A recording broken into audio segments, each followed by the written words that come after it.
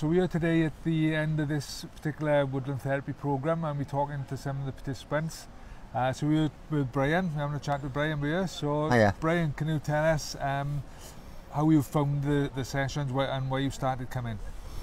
Uh, I started coming because well, basically you thought it would be something that would be good for me because Yeah. I'm I don't like going out. I don't like meeting people very much, and I found it's got me out and I can talk to people now. Yeah, yeah, And uh, I've got a problem problem with mobility, yeah, but so but here I don't have to walk around too much or go too far, yeah, yeah, so I can do it all right. yeah, But I I, I I do like it now. yeah.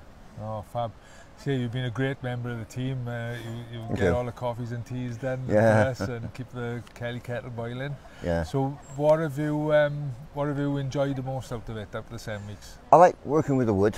Yeah, I'm I'm gutted I missed the um, weaving last week yeah, because I was yeah, away, but yeah, but I, I- like messing on with the wood yeah, um, and just generally helping out. You know, putting tent up and things like that and yeah, yeah, that sort of thing. yeah, You yeah, know, I like that sort of thing. So yeah, uh, I just I just I just love it now. yeah, I didn't. I'll be honest. I, I just lots of times I just thought I'm not going to come. Yeah, yeah, I'm not going to come because I can't. I don't want to do this. yeah, Um, but I forced myself, and Anne made me made me come as well. yeah. So she twisted my arm. Put your arm behind your back Yeah. and kicked out the house. Yeah, to get up there. But uh, yeah, Yeah. So yeah.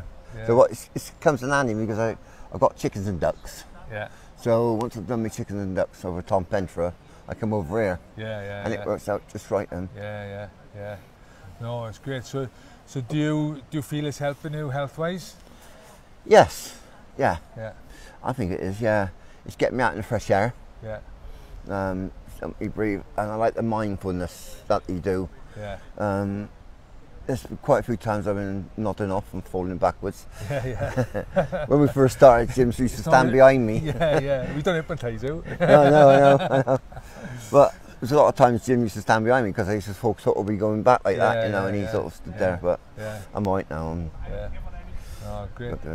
So going forward, um, how do you think this this has helped you um, look forward to the future? Um, so with the sort of mental health as well. Yeah, it's made me a bit more positive on things Brilliant. um, in that respect.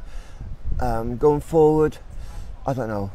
Uh, I get the good days, I get the bad days, Yeah, yeah, uh, like everybody. yeah, Um, I'm just glad that I've got something like this yeah, to do. Um, take take my mind off things, yeah, yeah. off the bad things. Yeah, yeah, yeah. You know. Yeah, yeah.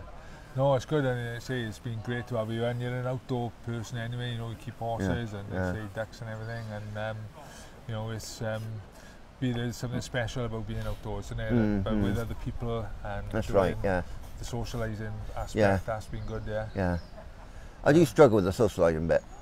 I'll be honest, but it don't show. I know, I know. I, I got to force myself all the time. Yeah, we've done really well. I know, yeah, but yeah. I'm, I'm trying not to um, let it show, like you say. yeah, yeah. No, it doesn't show. No. But yeah, that's good. Good. Thank you, Bryan. All the best. You're welcome. Thanks And for everything, see you in the Martin. next one. Yeah, thank you. Brilliant. Thanks. Right.